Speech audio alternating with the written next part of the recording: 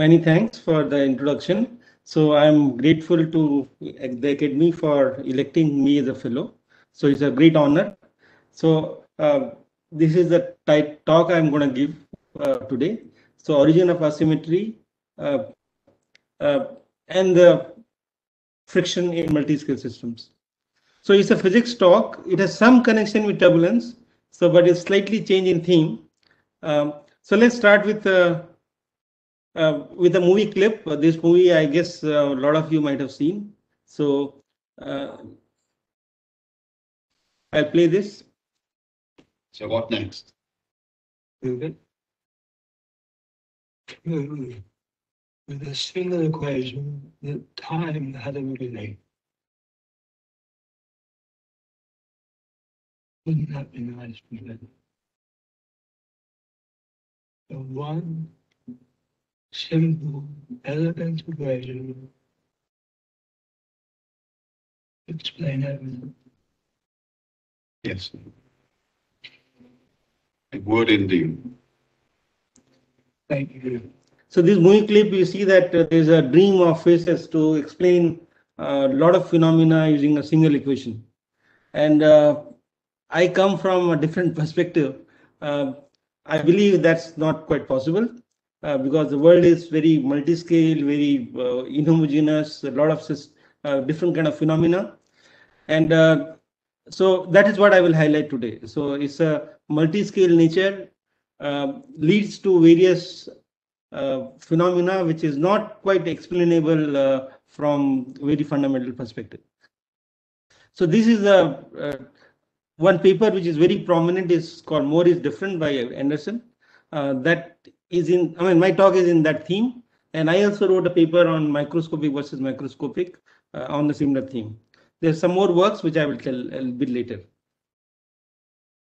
So, uh, so basically there are symmetries play a major role in modern physics. And so, for example, symmetry under space translation. So laws of physics are same here in Kanpur and in Bangalore, that symmetry leads to conservation of linear momentum. So there are three fundamental symmetries uh, which are listed here, uh, spatial translation, spatial rotation and time translation, and they are exact symmetries. They don't, uh, they are not violated. But there are some other symmetries which are not exact. For example, mirror symmetry.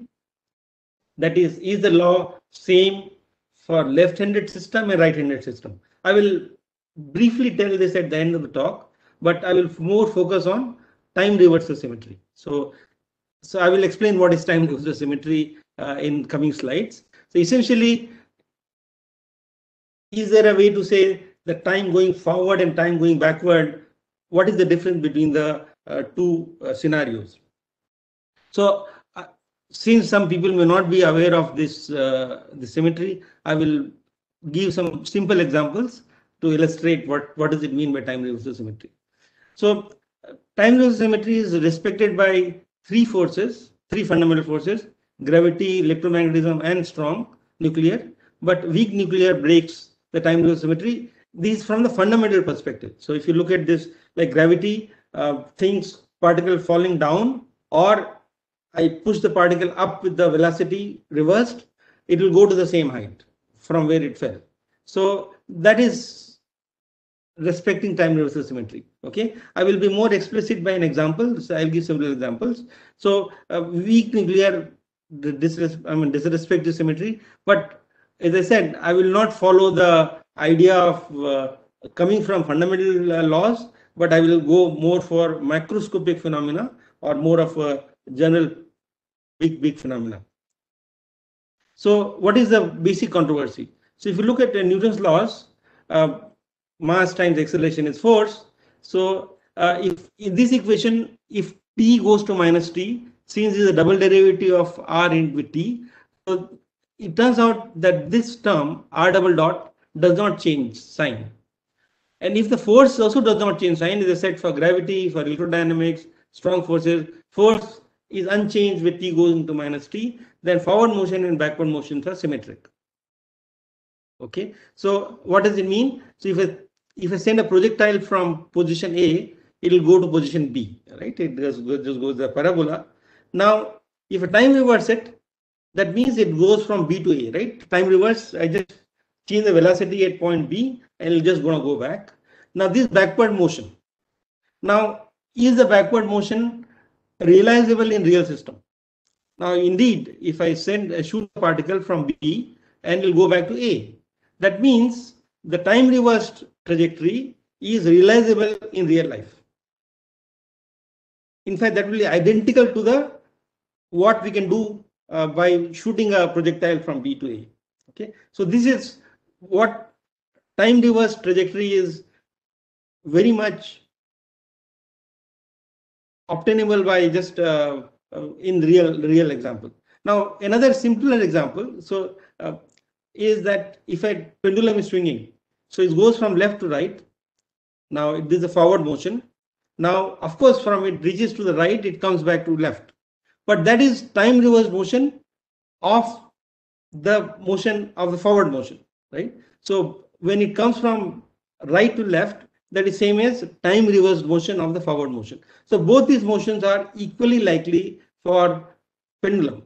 Of course, frictionless pendulum. If it is friction, then there will be a problem. But we assume frictionless pendulum, and then these two motions are equally likely, and uh, forward motion and reverse motions are the same. Now, in real systems, do we see this? This kind of going forward and going backward being equally probable or system going forward or backward in in equal i mean in in both ways now let's look at uh, examples we find in real life time moves uh, one way like uh, we we are born live then die it doesn't go backward uh, seminar will not go backward i mean this unlike this can't happen this doesn't happen so how does this asymmetry arise that's a big question now, one way is to try to derive it from fundamental laws. Uh, well, we'll try to do from weak nuclear and uh, try that. But another way is to uh, do from some macroscopic uh, principles. So second law of thermodynamics is you know often, so which everybody knows that entropy increases. Entropy, if I keep the gas particles in the left, it will basically diffuse. That's what is going to happen. Now, uh, so so I will not discuss that. This is second law of uh, thermodynamics which is invoked to explain time reverse symmetry. So it's from gas scattered everywhere, it doesn't go back to uh, to one part of the room. So that is asymmetry which is coming here. Now let's revisit for for uh, the aging process. Now from child we we grow to to uh, adult. Now what is meant by time reversal? Now I think of it. In fact, to me it is not a puzzle at all now, if I want to go back to a child, so what do I need to do? I need to reverse all the molecules in my body as well as all the air coming to my meat. Okay, uh, reverse it. So it turns out that I need to breathe carbon dioxide and breathe out oxygen. So in fact, this is not possible at all. So this is in fact is very ambiguous question that why don't we age?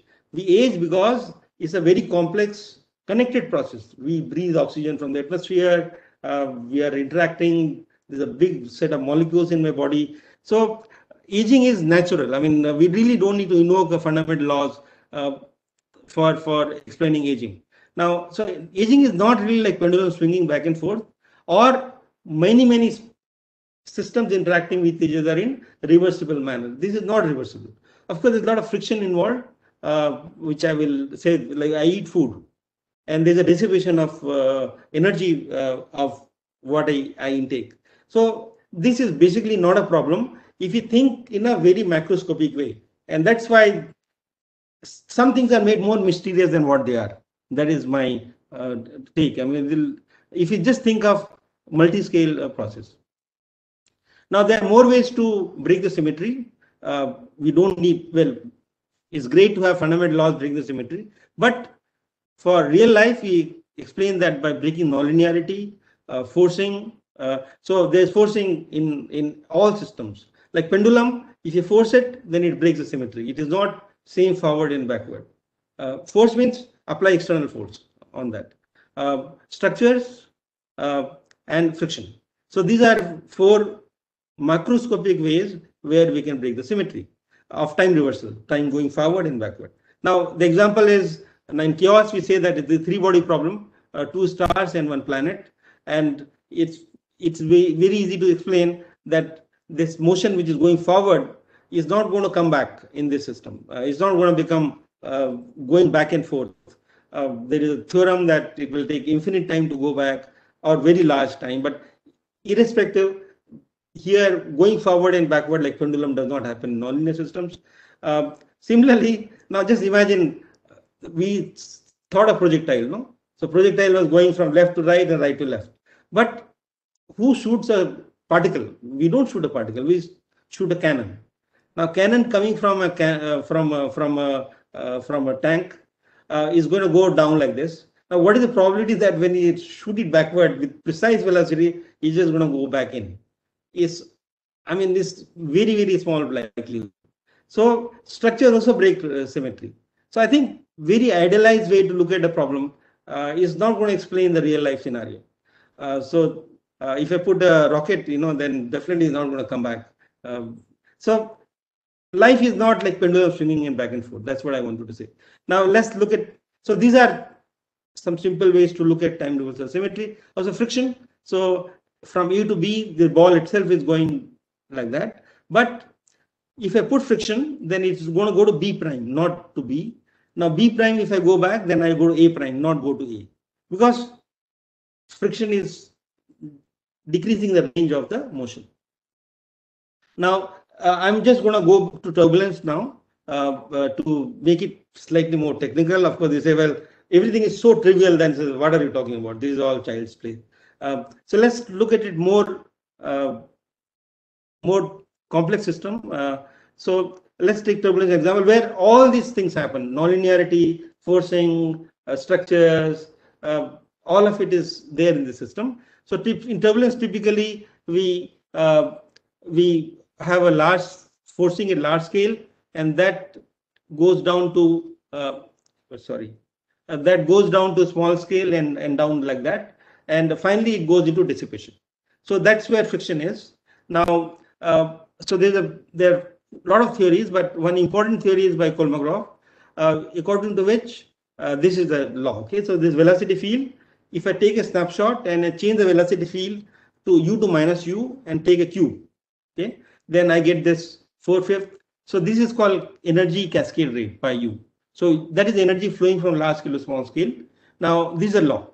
Now what if I do time reversal? So time reversal means U goes to minus U. Okay. So this left hand side will change sign. That means this minus will become plus, right? Because pi U is positive. So what does it mean? It means the time reverse system energy will flow from small scale to large scale. That means my coffee will uh, not uh, basically not mix, but it's going to unmix uh, in a time reverse system. Now, uh, that is not possible. Okay, so and why it is not possible? Because there is a friction in the system. So it turns out in turbulence, there is a natural direction of time, which is from ordered structure to disordered structure. And that is uh, easily explainable by many ways. I've told you one way, other way is to say the friction is there so that sets a cascade downward. Now, uh, energy flows from uh, large scale to small scale, but in the reverse process, it will happen other way around. So we can basically, in fact, it's a very interesting system which I can't uh, explain in due to lack of time. So time reversed, we can rule out by just seeing a, a, a snapshot that this is time reversed or forward in time.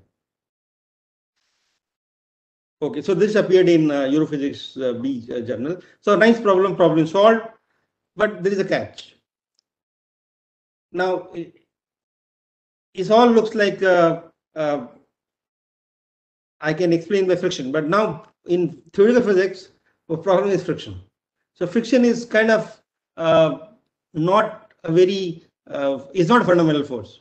So people don't like it. So friction, in fact, if you look at a lot of books on classical mechanics, there's a friction, don't talk about it. I mean, we want Hamiltonian system, energy conserving system, and friction is uh, not, not fundamental. But I believe dissipation is fundamental. In, in what way? Now let's look at uh, turbulence itself. So we have a lot of fluid particles. Okay. Now if you just see from fluid particle perspective, the total kinetic energy is conserved. Right. Uh, in fluid, all these particles are going around. Uh, they are uh, hitting each other and this assuming elastic collision, the energy is conserved. Now, what does turbulence do? What does turbulence do is takes the coherent kinetic energy, which is the blue uh, large vortex structures, and that pushes into thermal energy. So in, in turbulence, energy is going from coherent to incoherent. So total kinetic energy is conserved overall, if I look at molecular perspective, but the molecules are also arranged in a nice way uh, in, in a turbulent flow. And of course, uh, there is some jiggly motion at very small scales that is incoherent motion. So in the full system, there are fluid energy, which is coherent energy, uh, we call it U squared, and there are incoherent energy, which is macroscopic motion. So to me, friction is natural and uh, it's just conversion from coherent to incoherent. So, uh, and it turns out that we can apply this logic to in from multi-scale multi-scale perspective. We should not just seeing uh, particle colliding uh, in a in basically in a single scale collision scale, but we can uh, look at it from multi-scale perspective. And earthquakes, cracks. So there's a lot of dissipation in this system. Even in quantum systems, there is a dissipation. Uh, so this is called quantum dissipation. It's important, but I believe, hopefully, okay, I can't I can't say I believe. It's a good idea that we can say let's think of some coherent energy like in superfluid, uh, macroscopic wave function, and then some of it gets dissipated at small scales, which is invoked by the way superfluid turbulence. But uh, I think it needs more explanation. In human body, there is a nice way to uh, explain uh, arrow of time or energy dissipation. Food intake. I take energy, and that food is macroscopic, is going into energy in the cells. You know, so basically, there's a cascade of energy from food to cell level.